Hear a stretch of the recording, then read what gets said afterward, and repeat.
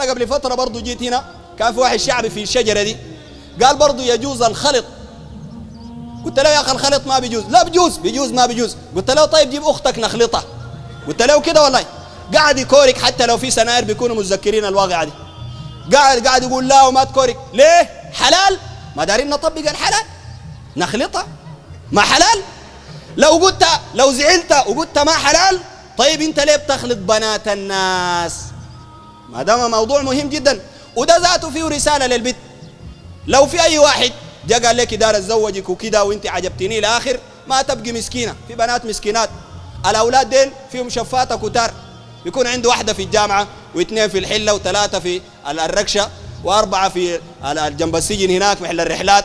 وكتار جدا. فهمتوا؟ في البص السياحي لو لقى بمشي أموره. موضوع طويل. فما تتغشي ما يغشك. كلام ده صحار لكن كلام نجيط. ما يغشك. قول لها ود الحلال دار تعرس. اي تمشي لأبوي في الحتة الفلانية. ده تلفونه والبيت وصفه كده. شو دق الباب. أنا ما دايرة منك حاجة. ما دايرة منك حاجة. مش دارين تأسسوا مستقبل وتبنوا مستقبل وكده وإلى آخر؟ خليه يدق الباب. خليه يعقد لكم. بعد يعقد لكم بعد ذاك تجوا اقعدوا سوا. ما سالينكم أشربوا شاي تشربوا موية. آه تاكلوا بصل تاكلوا نيم. ما بزول سائلكم. لكن بعد تعقدوا. ها؟ أما الشباب اللي بيجي يقضوا وقت ساكت ديل والله في الغالب ما بيتزوج. لأنه بيقول لك يا زول هوي ده, ده موضوع بتاع جامعة ساين إحنا كنا شباب وكده. وطبعا الموضوع ده يستاهل في الجامعة وكده. وكنا محرومين في الثانوي فالشغلة دي هنا ظريفة. فعشان كده يقول لك ان إحنا دي دارين نقضي بها زمن. لكن دي أنا لو قفلت باب البيت ما بامنها لأنه زي ما مشت معي ممكن تجيب لها شيء في الثاني تجيبه في البيت وأنا ما فيش. فهمت؟ فما بيتزوجك. ده بغشك. وحتى لو يتزوجها في النهاية بطلقها ما بتمشي لي قدام؟ فهمت؟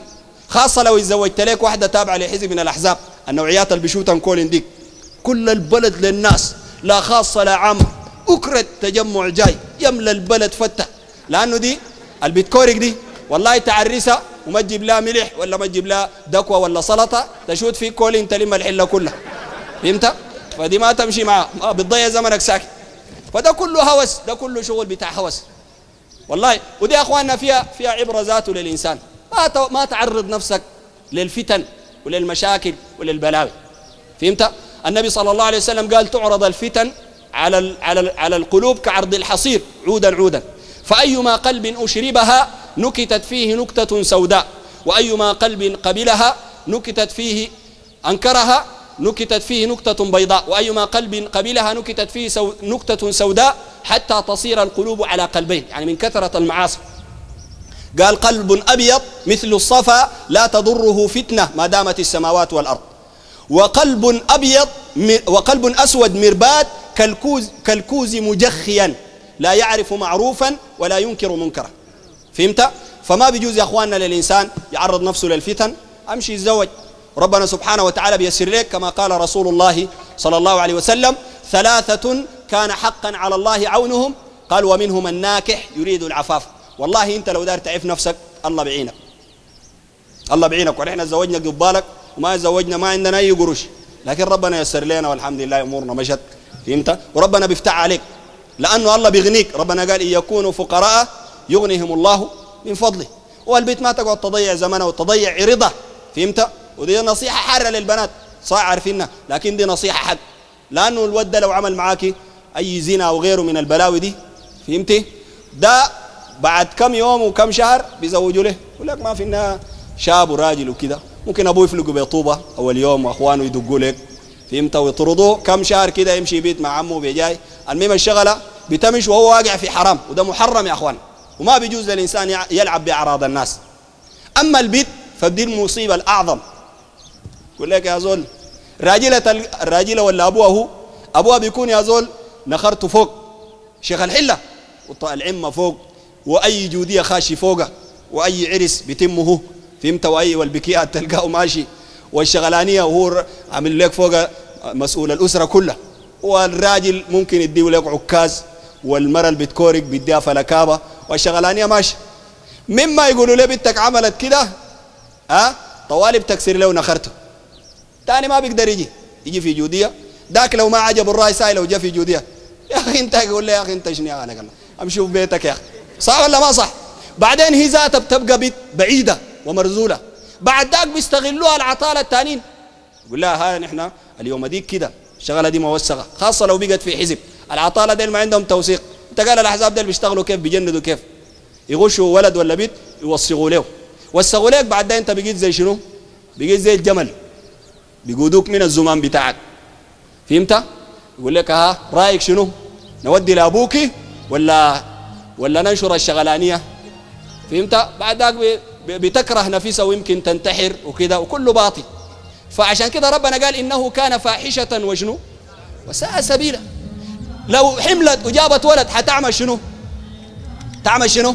حتقوم تقتل الولد. فهمت؟ حتقتل الولد. و... ويكون اجتمع في ذلك الزنا وقتل النفس المحرمة. عشان كده لازم الإنسان يبعد. والله دي نصيحة.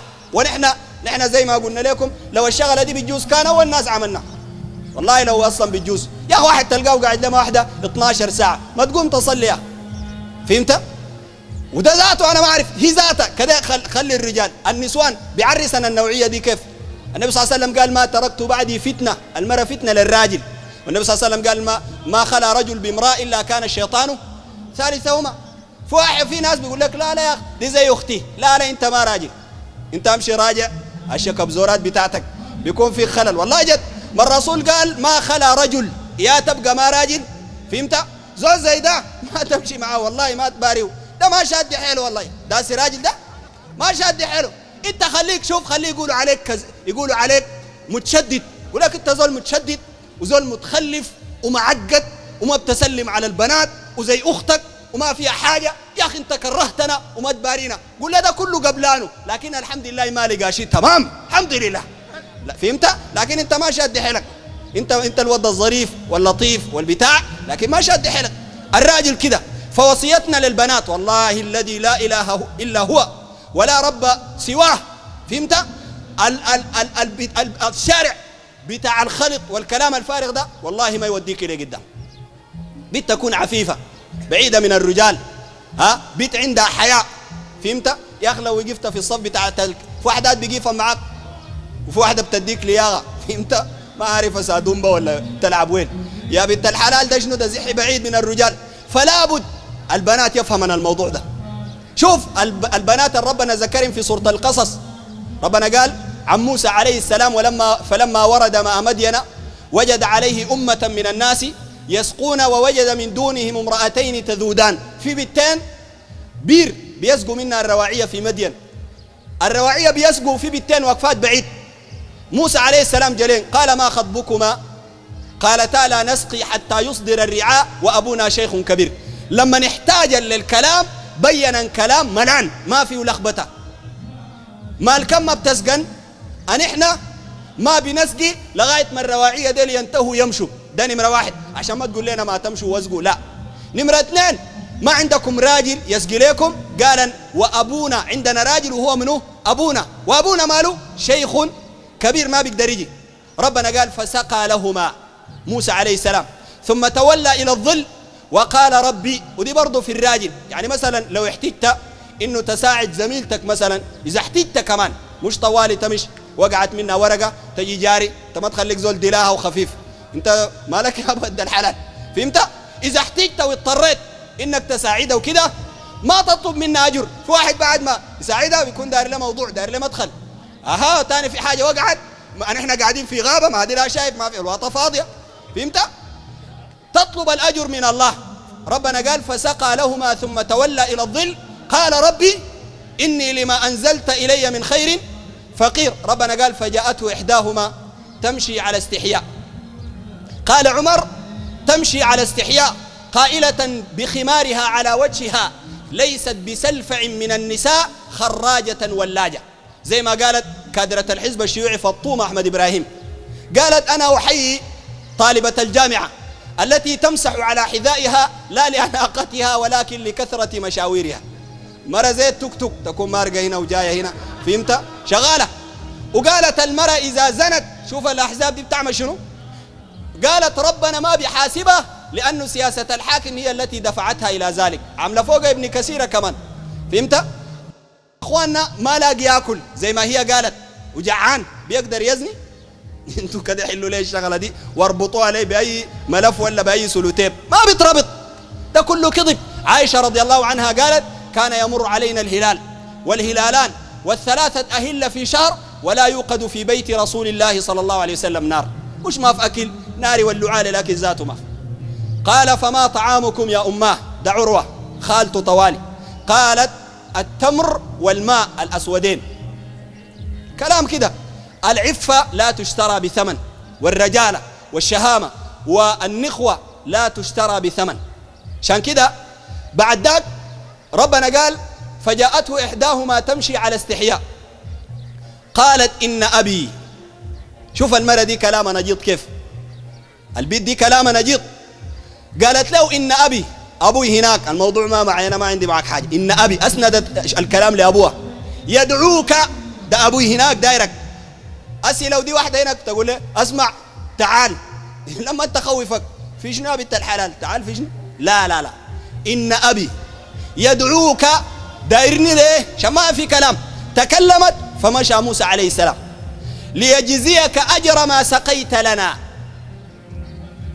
أبوي دايرك عشان يجازيك قالوا موسى عليه السلام مشت قدامه. فجاءت الريح فكشفت شيئا من ثيابها. قالوا هي القدم وقالوا غير ذلك. فأمرها موسى أن تكون خلفه. وإذا أراد أن أن يأخذ يمينا رمت حجرا ناحية اليمين.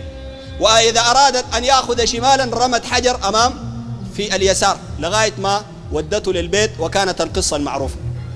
حياء نساء حيات ها؟ ويحترم الرجال ويحترم الأسر لابد البيت تكون كده.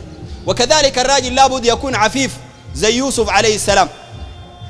جاءت امرأة العزيز وراودته عن نفسه ها؟ قالت هيت لك أي هيأت لك أسباب الزنا والمعصية. قال معاذ الله. إنه ربي أحسن مثواي. ربنا أنعم عليك. أداك عقل بقاك شاب بقاك قوي. جيت الجامعة تحفظ تقرأ تكتب تناغش تمتحن تنجح. ها؟ تعيش ترجع لأهلك. دي كلها نعم من الله سبحانه وتعالى. الله أداك ليه ها؟ النعم دي تقابلها بشنو؟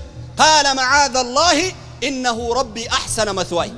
إنه لا يفلح الظالمون. الظالم ما بيفلح نهائي. العلماء قالوا اجتمع في يوسف من أسباب الشهوة أمور كثيرة منها أنه كان شاب وأنه كان أعزبا وكان غريبا وأن امرأة العزيز هي التي دعته إلى الفاحشة وغلقت الأبواب وهيأت له. ومع ذلك استعاذ بالله وترك الوقوع في الفاحشة. شوف الكلام ده كيف. فلا بد يا أخواننا الشاب ذاته يكون عنده شنو؟ يكون عنده شهامة يكون عنده رجالة يكون عنده بعد عن الحرام. ربنا سبحانه وتعالى يعينك في الدنيا والآخرة.